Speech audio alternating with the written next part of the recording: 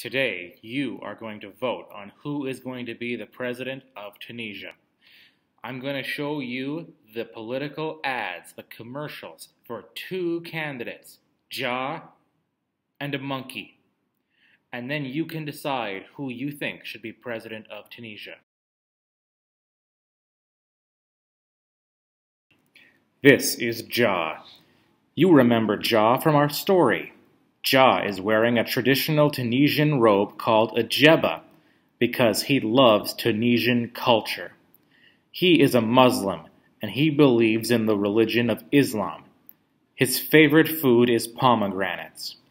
He likes to celebrate the festival of Eid al-Fitr and watch the new moon come out. During all Muslim festivals, Tunisians give money to the poor.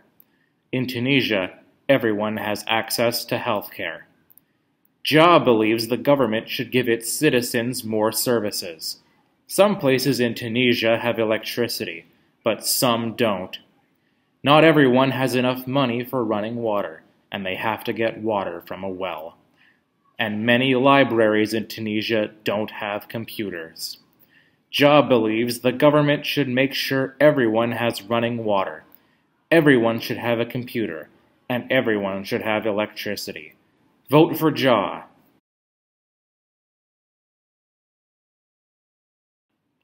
This is a monkey. He's a monkey.